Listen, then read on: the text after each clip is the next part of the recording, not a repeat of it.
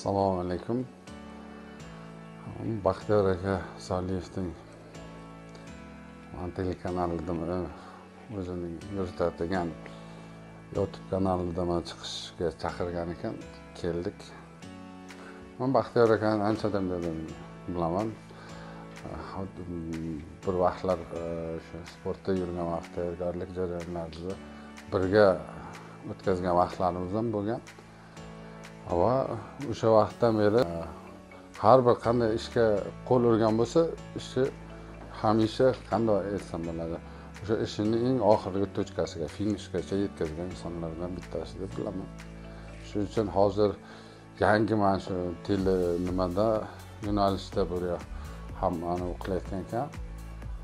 O'sha ishlariga rivoj. Bilasizlar kaliforniya qizil yomg'ir chuvol changi bilan shug'ullanamiz va daromad qilamiz. Mana bugun boqodir akam begovatdan kelib ikki kvadrat sotib olib mana jamoamizga qo'shildilar.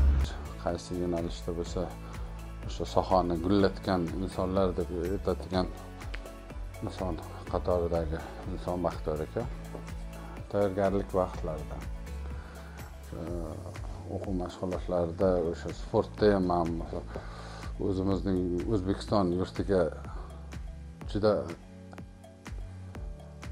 sportchilarni o'sha dunyo miqyosida g'alaba qozonish jarayonlarida o'sha muxlislik qiladigan bir insonlardan bittasi hatto o'zi ham o'sha tayyorgarlik jarayonlarida biz bilan birgalikda mashg'ulotlarda ham bo'lgan vaqtlari bo'lgan. Albatta har bir odam dunyoda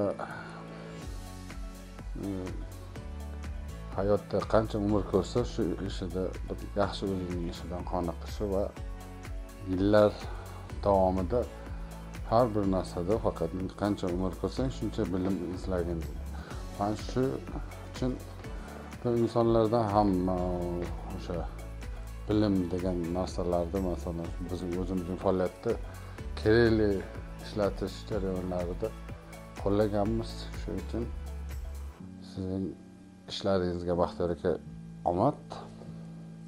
Nasib e, yaxshi yana nima bo'ladigan darajadagi kunlarda xudo xohlasa davom etkazamiz. Bilim o'rganishda sog' bo'ling jahon chempioni abdulla tangriyev bo'ldilar ehtiyot qilinglar. Sog' bo'ling